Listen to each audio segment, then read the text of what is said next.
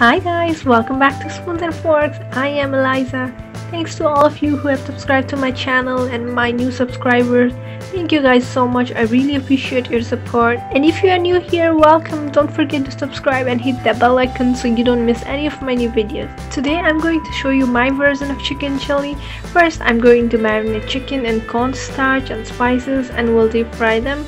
Then I'll saute bell peppers and mix chicken with a little bit of spicy and tangy sauce. It's gonna be delicious. So let's get started. Here I have some boneless chicken thighs and I cut it into small pieces, kind of like cubes but not as thick as you can see here.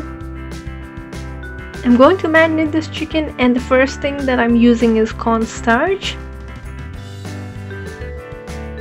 Next goes in garlic powder, red chili powder and ground ginger. I'm going to combine it, making sure cornstarch and the spices are mixed really well. Next goes in soy sauce and mix it well. I like to add all my ingredients one by one because that way the first ingredient has chance to blend it well before adding the second one. Here comes the salt and you can add salt according to your taste and I'm also going to add one egg. Lastly, this is optional but I'm using tandoori masala. You can find this in Indian grocery stores and if you can't find them, you can either use paprika or just leave it out. I like to use it because it gives that beautiful red color which I like in this dish. Now I'm going to let it marinate in the freeze for at least 30 minutes. If you have time, marinate it overnight because then chicken will soak all the flavors and it will turn delicious. Now I'm ready to fry my chicken and I'm using 3 cups of vegetable oil. You can use any kind of neutral oil of your choice. The oil temperature should be between 325 to 350 degree Fahrenheit. Once you reach that temperature, gently add your marinated chicken and fry them for about 5 minutes. Make sure you don't crowd your pan and just add few pieces at a time because too many pieces will lower the oil temperature and the chicken will become soggy and that's not what we want here. This oil is very hot so be very careful. Once the chicken is cooked, take it out from the pan and soak the excess oil in paper towel. Here I have a saucepan on high heat with 3 tablespoons of vegetable oil. Now for this part of cooking, you want to make sure that your heat is on high.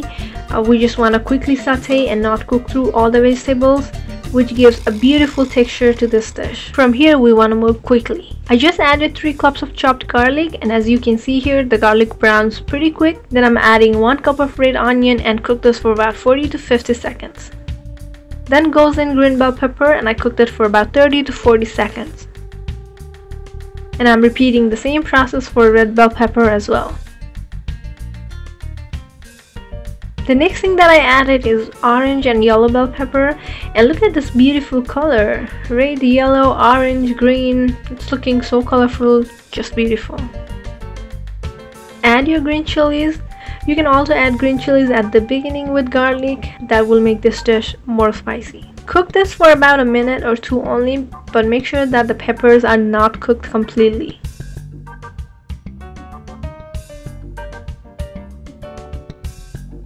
Then I'm adding 2.5 tablespoon of soy sauce and give it a quick mix. Next goes in 1 tablespoon of tomato paste and mix it well. Then I added half tablespoon of sriracha sauce and quickly mix it. Add your fried chicken and combine everything together. Here I mix 2 teaspoons of cornstarch with some water and I'm adding that to make the sauce.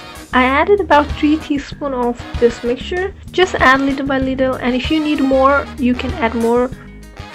Just give it a final mix and it's done. Here is the final look and it turned out delicious.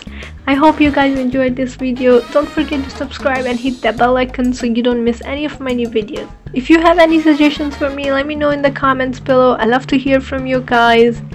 And thank you for watching. I'll see you in my next video.